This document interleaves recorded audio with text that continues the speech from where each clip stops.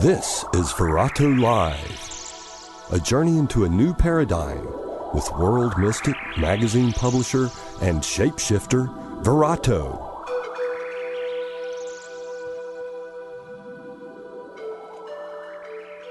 For as long as humankind can remember, we have questioned what happens when we die.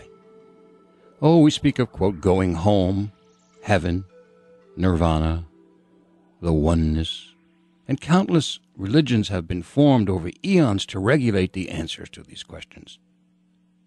In our search, some of us have discovered fibers of similarities to the process in most religions, although their mythological presentations have become ingrained so deep, belief systems, so many people, even causing wars over their different methods.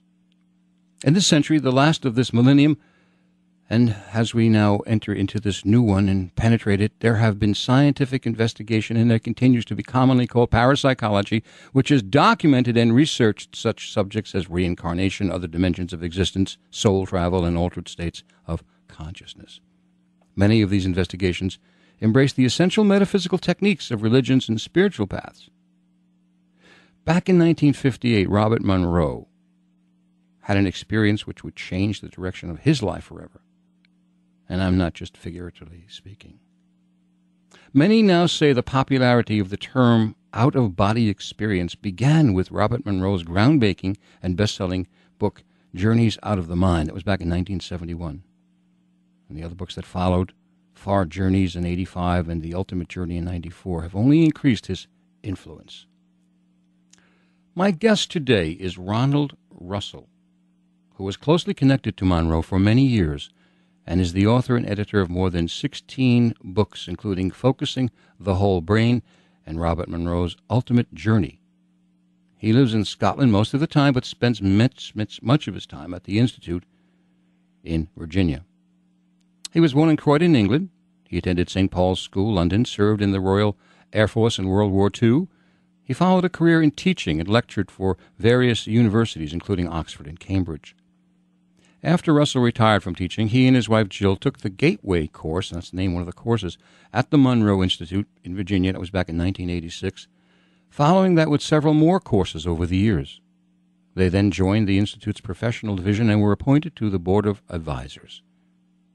Now living in Galloway, that's in England, oh, no, Scotland, oh, sorry, Galloway, Scotland, Ronald has given several lecture courses on states of consciousness for the University of Glasgow. He also wrote his own study of altered states of consciousness, which is the book called The Vast Inquiring Soul. The Russells are both Monroe outreach trainers. We'll find out what that means. Conducting occasional workshops in their home in Scotland and making annual visits to Cyprus to present the Going Home program there. Good morning, Ronald. It's a, it's a pleasure to have you on my program, and welcome to Virato Live. Thank you. So, Robert Monroe. It still amazes me there are people out there that do not know that name. They don't really know it. Yet, the what he did, what he allowed to be shown scientifically as it just it, it boggles the human mind. It boggles the human mind. Now, the title of the book, The Journey of Robert Monroe. Now, my listeners have no idea what I'm talking about now, except the words out of body experience. But what do you mean by Monroe's journey, Robert? It was the title I chose uh, for two reasons. Well, the first was when he uses the phrase uh, the journey in his own three books. But uh, more important than that uh, was that his own life was very much a journey, um, in not just a physical journey, but you might call it, it became a spiritual journey a journey, if you like, of discovery. Now, to to to thumbnail his biography, and this is going to be tough because the book, first of all, the name of the book we're talking about is The Journey of Robert Monroe from Out of Body Explorer to Consciousness Pioneer. And the forward is by Charles T. Tart, uh, a program in itself. And uh, it's by Ronald Russell, as I told you. and it is it is a joyful reading biography, and yet it's filled with stuff that you know I didn't know about this man. I mean, amazing, such as, I mean, I think he just turned 15 and he was going to the university. He spoke before the age of four, wrote and spoke, and on and on. It's just this. I have to ask you this, Ronald. I have to ask you this question. Is this like George Washington throwing the silver dollar across the Delaware River? You might say that. I, I, I mean, know. but he was he really 15? Uh, yeah, I think what he says, I think uh, what he's um, when when he does describe his own childhood, certainly, mm-hmm. and the rest of his life, I think he's he has respect for the truth. He we, tells it as it is, as it was, and as it is. Well, as I as I told you before uh, uh we got on the air, uh, back in 1994, just well, just prior to his his passing on, uh, he actually did not want to be interviewed by me. he actually turned the interview down several times because he felt at that time. I mean, here I was a Rajneeshi. I was wearing a mala around my head, you know, going mm-hmm. tambourines down the streets of Philadelphia to some degree, you know.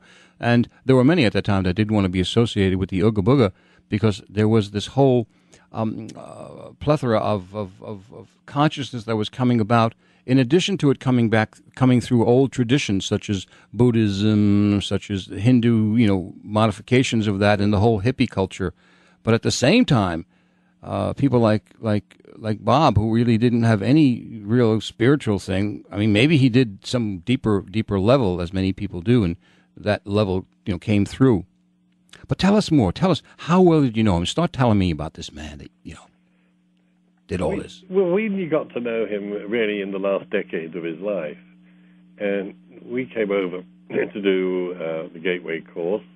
Friends of ours from the UK said, "Look here, you've got to go and do this," you know, and they insisted, and we respected what they said, and we thought, well, we had the time, we even had the money, and so we thought, well, let's do it. And what what did you think you were going to do? I really didn't have a great deal of idea.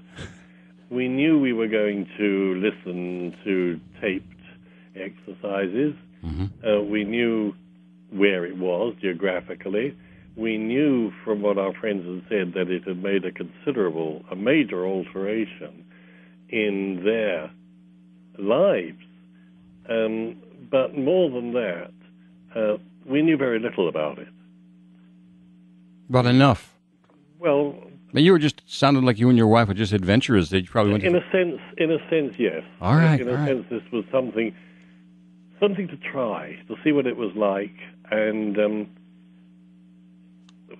you know, it turned out to be something rather different from. Well, in a sense, we we didn't go with expect with high expectations. We went through interest. For interest, like all right. But and, and the interest you were going to look at what did you think? That's important for me. We were going to look at something that had to do with consciousness. Mm-hmm.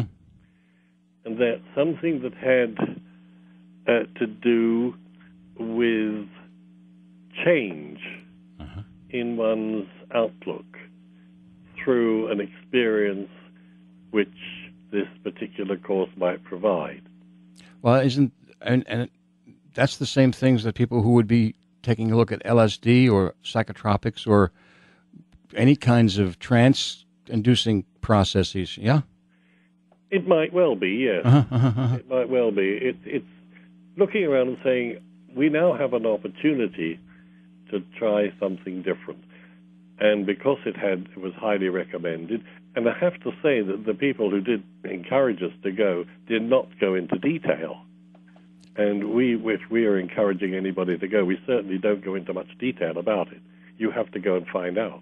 Yeah, it's just like doing the S training or any any process. Really, if you if you have preconceived ideas of a process and, and something happens, you say, well, that's not what's supposed to happen. Exactly. Yeah, I hear you. Yeah, that's right. Yeah, so uh, I when I do the radio program, I tell people, as I'll tell you right now, folks, put your dogma on the shelf just for a while, for the next few minutes, so that you can listen fully.